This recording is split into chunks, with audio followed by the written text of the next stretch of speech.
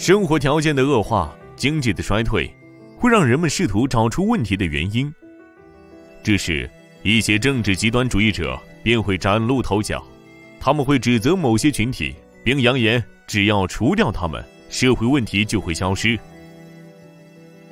这会使得因种族、宗教、性取向或有某些身体残疾而显得有所不同的人被蓄意消灭。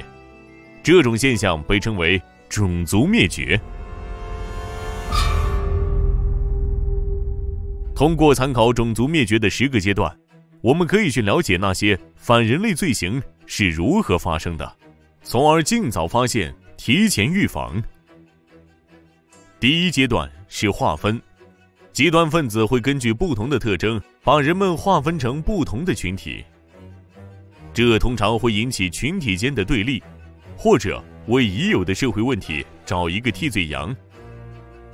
第二阶段是强贴标签，这一步涉及到给另一个群体的成员安上不同的符号或名字，以达到分裂社会、划分清晰界限的目的。第三阶段是歧视。通过利用其权力占主导地位的群体，会剥夺其他群体的某些权利或特权。他们会制定特定的新法律去限制边缘群体的自由，使得欺凌事件增加，社会分裂加剧。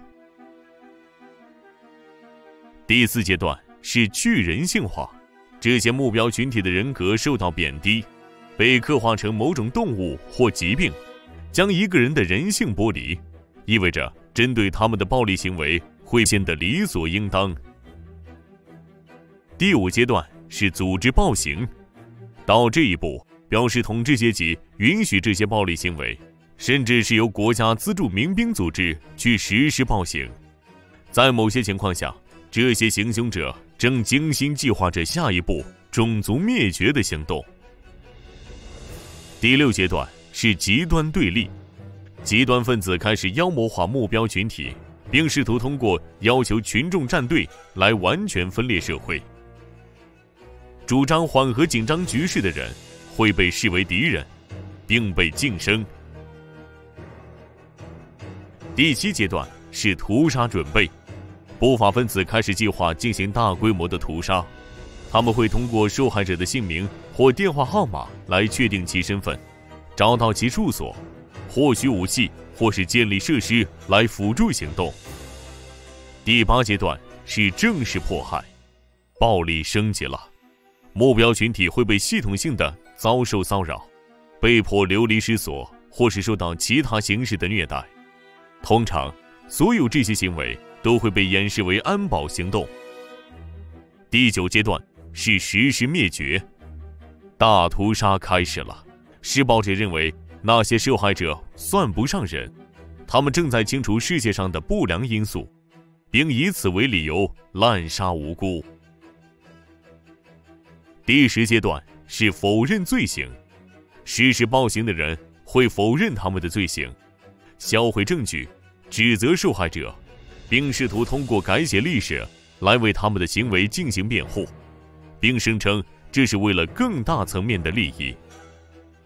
这就是为什么在种族灭绝事件之后，必须追究罪犯的责任，并且必须关注和妥善处理事件所造成的创伤。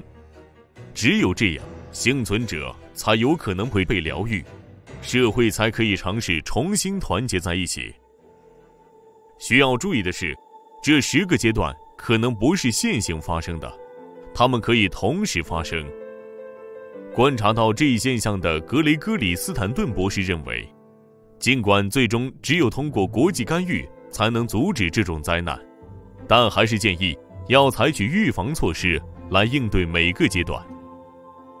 在德国、柬埔寨、卢旺达和其他地方，外部援助对于太多人来说往往为时已晚，这也是斯坦顿创立种族灭绝观察组织的原因。这是一个非营利组织，目的是帮助预防下一场悲剧的发生。你认为呢？仅仅掌握知识就足以预防种族灭绝事件吗？如果不够，我们还能采取哪些措施来避免下一次人类灾难呢？请在下面的评论区分享你的想法吧。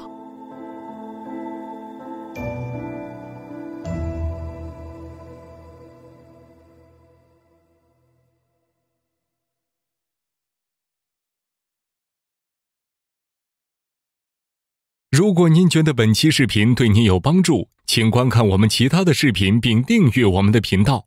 如果您想支持我们的工作请登录 patreon.com/sprouts 加入我们。想要了解更多信息和获取更多内容，请访问 sproutschools.com。